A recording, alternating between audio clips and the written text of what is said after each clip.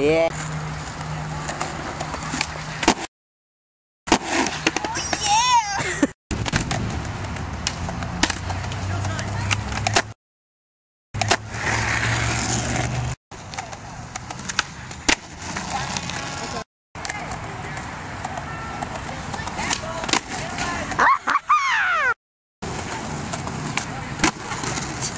Yay!